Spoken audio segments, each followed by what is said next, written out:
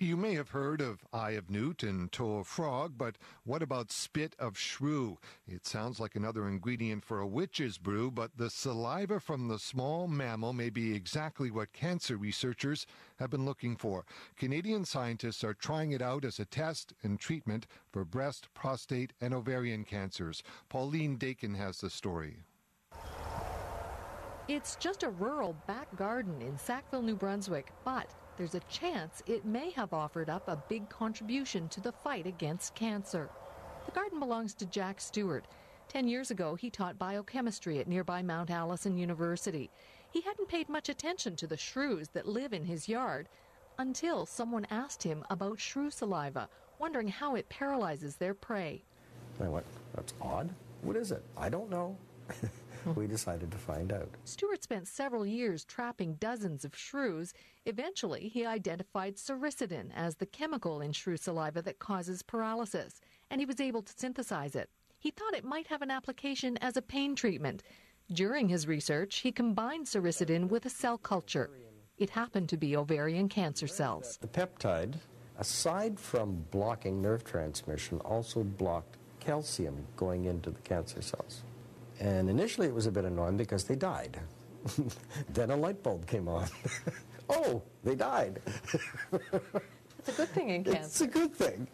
It turns out a chemical or peptide in shrew spit has an anti cancer effect, specifically against ovarian, breast, and prostate tumors.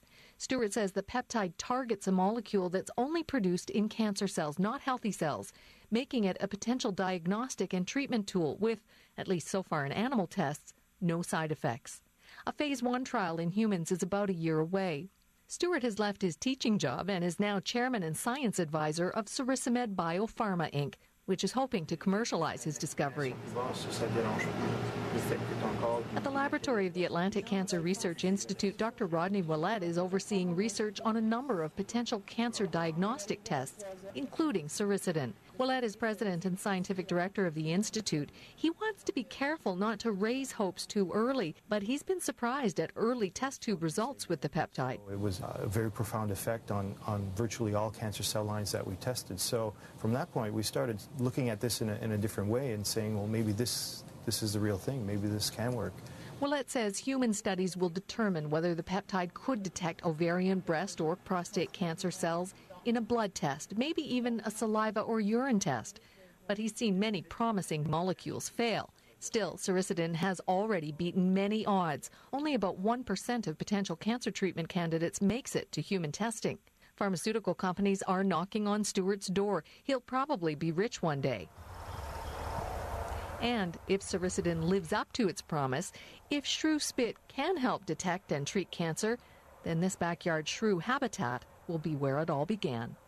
Pauline Dakin, CBC News, Sackville, New Brunswick.